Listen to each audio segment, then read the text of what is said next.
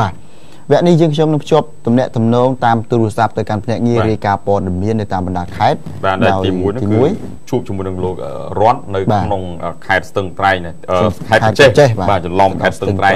តាក់ទងជាមួយនឹងករណីប្តីប្លន់ហើយនឹងប្រពន្ធប្រើប្រាស់គ្រឿងញៀនចែកចាយគ្រឿងញៀនអរគុណឥឡូវសូមភ្ជាប់ជាមួយនឹងលោករ័នតែម្ដងបាទជំរាបសួរលោករ័ន បាទលោកជំរាបសួរលោកបុត្រានិងលោកសុខាព្រមទាំងទូទាំងជនផងដែរបាទបាទបាទសម្រាប់ព្រឹកនេះសូមអញ្ជើញរាយការណ៍ជាមួយព័ត៌មានរបស់យើងតែម្ដងបាទបាទព្រឹកនេះខ្ញុំបានមានសេចក្តីរាយការណ៍ចំនួន2បាទមួយនោះចាប់ប្តីតាមអំណាចដីកាបត់ប្លន់នៅខេត្តកំចាននិងខត់ខ្លួនស្រីជាប្រពន្ធពីបត់ចែកចាយគ្រឿងញៀននៅសុខស្នួលហើយទី2នោះកុមារីអាយុ8ឆ្នាំបាត់ម្ដាយមិនឃើញនៅផ្ទះគាត់ដើរដើរស្លាប់ទឹកសាលងស្លាប់បាទបាទសូមអញ្ជើញរាយការណ៍តែម្ដងបាទ កម្លាំងនគរបាលក្រសួងការពីព្រឹកថ្ងៃទី19កក្កដាកន្លងទៅនេះបានចុះអនុវត្តនៃការចាប់គាត់ខ្លួនជនសង្ស័យជាប្តីជាប់ចោទពីបទធៀបកម្មគិតទុកជាមុនប្លន់សម្លាប់នៅខេត្តកំពង់ចាមកាលពីឆ្នាំ2005និងចាប់គាត់ស្រីជាប្រពន្ធដែលជាសញ្ញាចែកចាយគ្រឿងញៀនយ៉ាងសកម្មមួយនៅស្រុកស្នួលនគរបាលស្រុកស្នួលបានដឹងថាជនសង្ស័យជាប្តីឈ្មោះចិនលៀងអាតអាយុ40ឆ្នាំមានទីលំនៅឃុំបង្រោស្រុកកោះសុទិនខេត្តកំពង់ចាមត្រូវកម្លាំងនគរបាលចាប់គាត់ខ្លួននៅ ទីសាធារណៈមួយកន្លែងក្នុងស្រុកស្នួលទៅតាមអំណាចដីកាលេខ136ចេញដោយលោកទឹកសុភីចៅក្រមសិស្សសួរនៃសាលាដំបងខេត្តកំពង់ចាមចោលពីបទខិតកម្មគិតទុកជាមុនប្លន់សម្លាប់ដែលបានធ្វើឡើងកាលពីឆ្នាំ2005នៅស្រុកកោះសុទិនខេត្តកំពង់ចាមហើយក៏បានរត់គេចខ្លួនបាត់រហូតមកដល់សប្តាហ៍នេះបាទបាទលោកវិរៈសេនីត្រីច័ន្ទសុគីនអធិការនគរបាលស្រុកខ្ញុំដឹងថាបន្ទាប់ពីកម្លាំងនគរបាលបានចាប់ខត់ខ្លួនបរិសុទ្ធជាប្តីតាមអំណាចនៃការរួចមកកម្លាំងនគរបាល ក៏បានបន្តការចែកឆេរដល់លំនៅឋានផ្ទះជួលរបស់ជនសង្ស័យពីអ្នកប្តីប្រពន្ធនេះបន្តទៀតនៅក្នុងភូមិស្នួលវត្តឃុំស្នួលសុកស្នួលហើយនៅក្នុងសកម្មភាពនៃការចុះឆែកឆេរលំនៅឋានផ្ទះជួលនោះកម្លាំងនគរបាលក៏បានផាត់ខ្លួនស្រីឈ្មោះចិនស៊ីណាអាយុ33ឆ្នាំជាប្រពន្ធជាប់ចោទពីបទប្រើប្រាស់និងចែកចាយគ្រឿងញៀនដោយកម្លាំងជំនាញក៏បានចែកឆេររកឃើញគ្រឿងញៀននោះចំនួន2កញ្ចប់តូចបាល់សាមរ៉ៃមួយនិងរយៈប្រើប្រាស់គ្រឿងញៀនមួយចំនួនទៀត លោកអធិការសុខស្រួលបានបញ្ជាក់ទៀតថាជនសង្ស័យទាំងពីរអ្នកប្តីប្រពន្ធទៅតែមកស្នាក់នៅផ្ទះជួលនៅក្នុងសុខស្រួលនេះរយៈពេលប្រហែលខែមុននេះទេបាទហើយសង្ស័យទាំងពីរនេះក៏ជាមុខសញ្ញាចែកចាយគ្រឿងញៀនយ៉ាងសកម្មមួយ នៅដែលកងកម្លាំងនគរបាលបានកំពុងតែតាមប្រមាណគ្រប់បាទបាទជំរាបសួរលោកតិចតកតងជាមួយនឹងចំណុចនេះតើខាងប្តីដែលជាអ្នកអជនថាប្រព្រឹត្តឬក៏សម្លាប់ប្លន់សម្លាប់នោះតើមានការចំណាត់ការរៀបចំយ៉ាងណាពីមន្ត្រីសមត្ថកិច្ចឬក៏បញ្ជូនទៅកាន់តុលាការនៅរឿងនេះបាទបាទសូមជម្រាបថាបើតាមការបញ្ជាក់របស់លោកអធិការទឹកនួនលោកបានប្រាប់ថា ក្រោយពីចាប់គាត់ខ្លួនរួចបរិសុទ្ធជាប្តីរួមទាំងវត្ថុតាងដៅសាមរ៉ៃមួយនេះត្រូវបានសមត្ថកិច្ចបញ្ជូនទៅកាន់សាលាដំបងខេត្តកំពង់ចាមរីឯស្ត្រីជាប្រពន្ធរួមនឹងស្នាមញៀនពីកញ្ចប់តូចនេះគឺត្រូវបានកសាងសំណុំរឿងបញ្ជូនទៅស្នងការនគរបាលខេត្តដើម្បីចាត់វិធានការបន្តហើយសូមជម្រាបជូនផងដែរថា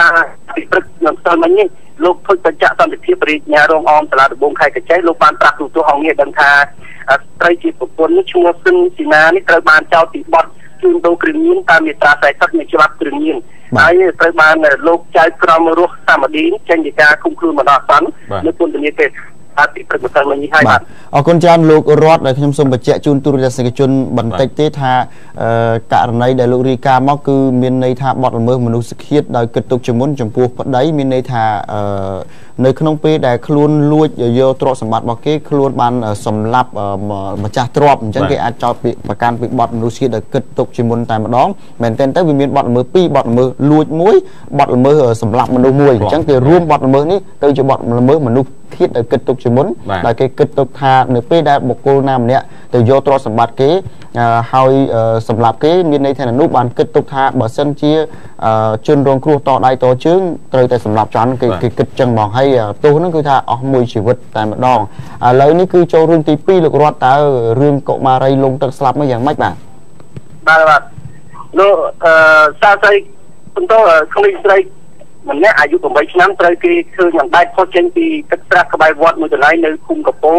សង្កាត់អូរស័យក្រុងប្រជែកក្រោយពីកុមារីនេះបានបាត់ខ្លួនអស់មួយយប់មកហើយទោះបីជាម្ដាយនិងក្រុមគ្រួសារបានប្រឹងដើររកយ៉ាងណាក៏ដោយក៏មិនបានឃើញក្មេងស្រីនោះដែរបាទបាទការភ្ញាក់ផ្អើលរបស់ប្រជាពលរដ្ឋបានកើតឡើងកាលពីវេលាម៉ោង8ព្រឹកថ្ងៃទី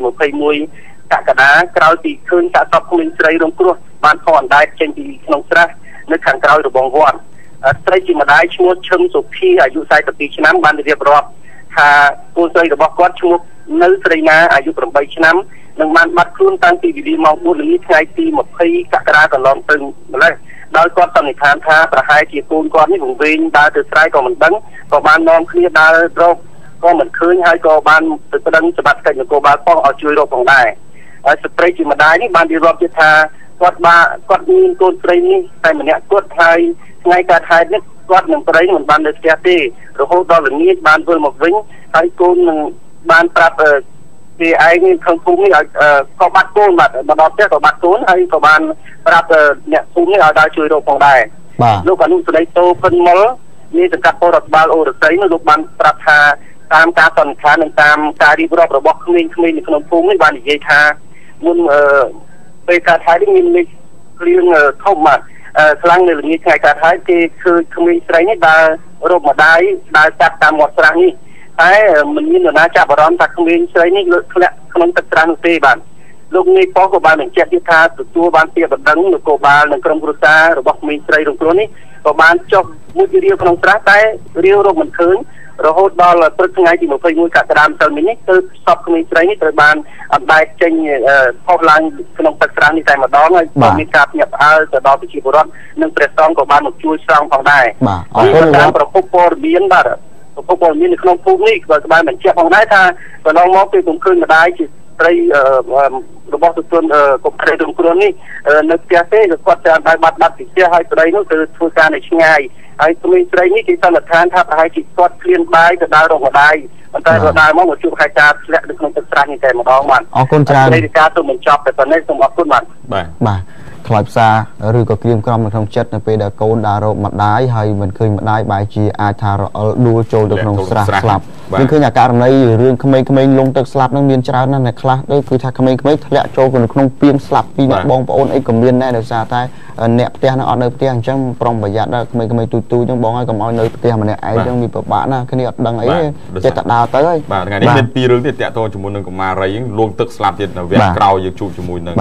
ភ្នាក់ងារមួយរបស់យើងបាទស្វាយរៀងឥឡូវសូមអនុញ្ញាតសម្រាប់ឲ្យ plate សិនបន្តិចទៀតហេមិនសម្រាប់ទេភ្ជាប់ភ្ជាប់ភ្ជាប់តទៅទៀតឬយ៉ាងម៉េចសម្រាប់អូ សម្រាប់សិនចាំវគ្គក្រោយចាំជួបលោកពិសិដ្ឋប្រចាំការនៅស្វាយរៀងគឺពាក់ព័ន្ធទៅនឹងករណីលងទឹកស្លាប់ដែរបាទអរគុណ